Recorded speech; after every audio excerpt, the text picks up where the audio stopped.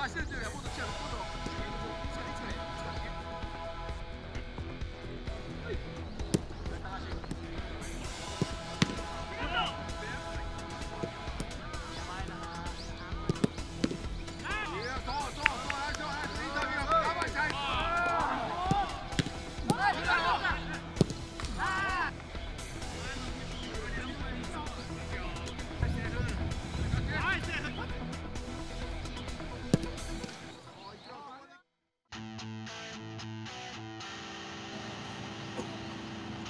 次2つしっかり自分たちが勝つことができれば自力で決められるっていうのは、まあ、みんな分かってますし、まあ、監督からも、まあ、ミーティングで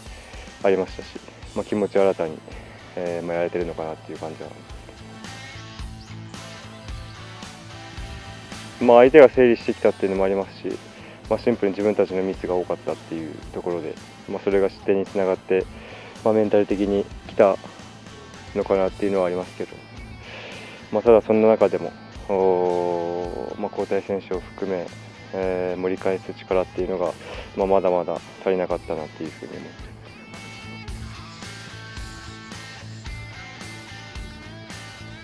しっかりといい時間帯の時に、え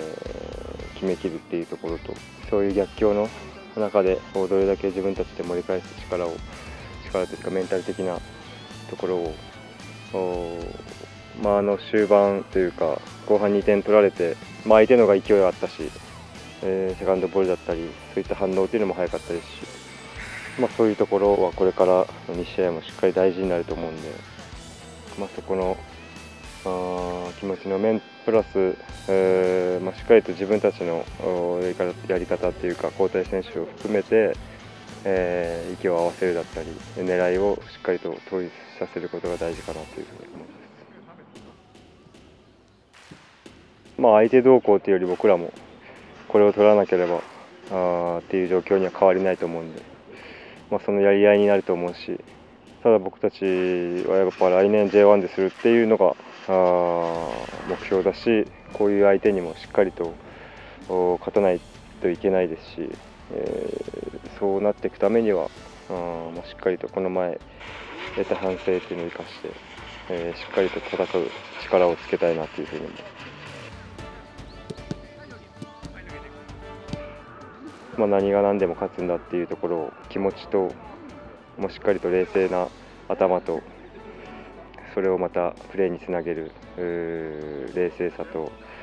かっていうのはうこの2試合より大事になってくると思うんで、まあ、そういったところを、まあ、相手よりも、まあ、僕たち自分たちで、えー、同行だと思うんで、まあ、そこはあ、まあ、みんなにも求めたいですし、えー、残り2つ勝って自力でしっかりと昇格っていうのを決めたいなというふうに思います。ホームアウェー関わらず、まあ、たくさんの方々に毎試合来てもらって、えーまあ、僕らの後押しっていうのをしてくれてるサポーターファンサポーターの方々に、まあ、しっかりと最後まあ、ホームで勝った姿っていうのを見せたいですし、まあ、去年悔しい思いをさせている分、うんまあ、今年はしっかりと、えー、いい思いっていうのをさせてあげたいので、えーまあ、しっかりと2試合、えー、勝ち切って、えー、いきたいなというふうに思います。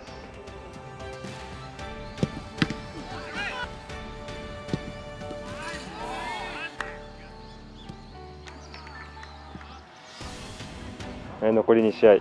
えーまあ、自分たちの力で、えー、勝利して、えー、みんなと一緒に昇格を喜び合いたいなというふうに思ってますので、えー、応援よろしくお願いします。